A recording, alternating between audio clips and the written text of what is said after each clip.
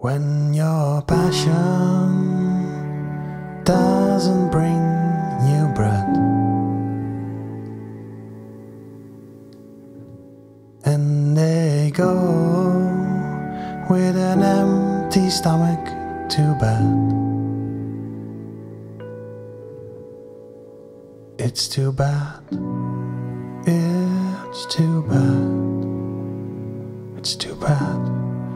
It's too bad. So bring him there. Bring him there. Let's bring him there to the moment.